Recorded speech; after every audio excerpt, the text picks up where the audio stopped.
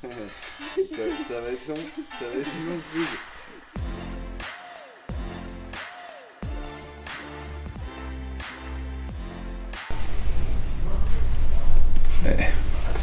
Bah évidemment, j'ai mis expérience parce que euh, vu que c'est mon tuteur euh, et que ça fait 6 ans donc qu'il est dans le métier, euh, il m'apprend beaucoup de choses et c'est vrai que bah, c'est ma première expérience en trésorerie donc j'ai tout à apprendre du métier.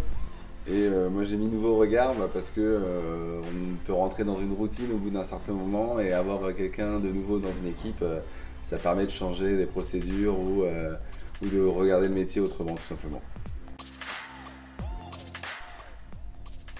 Ouais, classique, c'est gérer les liquidités du groupe, le financement et les placements euh, du groupe, le DUF. La gestion des liquidités euh, du groupe, donc l'argent disponible, les encaissements et décaissements.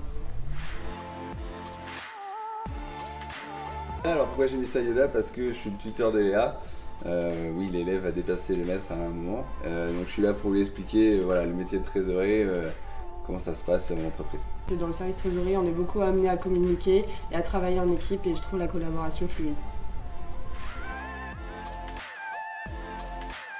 Quand on travaille ensemble, il est plutôt euh, disponible et à l'écoute, donc c'est important euh, comme qualité en tant que tuteur.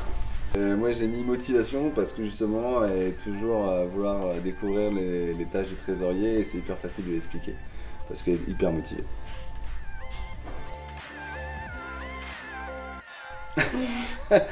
oui, c'est vrai.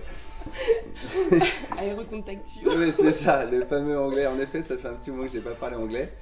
Et moi, j'ai mis muscle ton jeu parce que euh, par moment, il faut que tu ailles plus euh, entre guillemets au contact et aller challenger les gens, euh, les banquiers notamment.